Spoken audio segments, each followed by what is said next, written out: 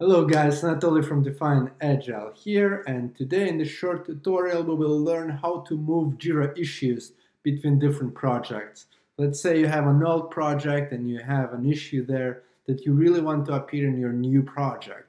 What are you going to do?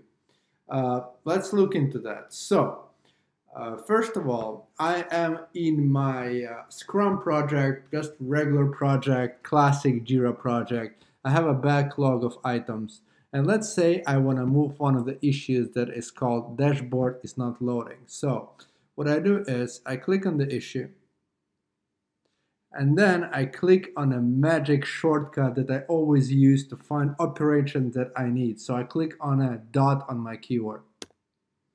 And so it says operation on, on MTS6.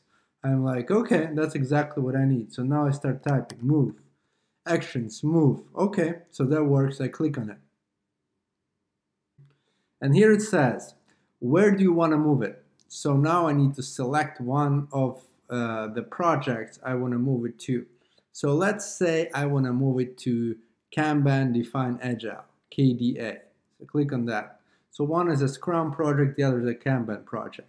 And then it says current issue type is a bug what's your new issue type? And then I can make it other issue type if I want, but I want to just keep it simple. So it was a bug before, I want to keep it as a bug. So I click next.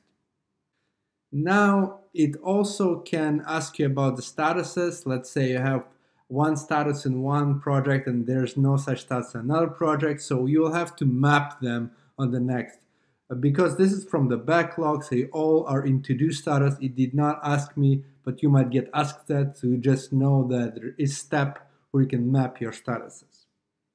The next one is also about updating the fields. So let's say you have a different fields in one project and uh, the field does not match the other project, you might have to map them again.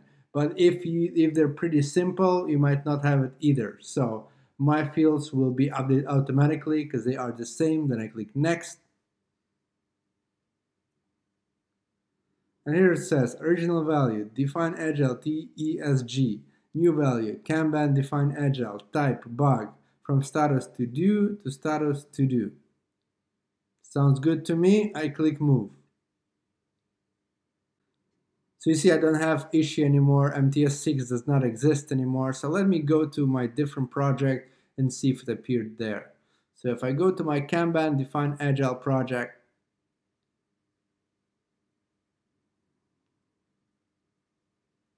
I see my issue is there. Dashboard is not loading. Now it's called KDA8 because it changed uh, the code because we moved the project.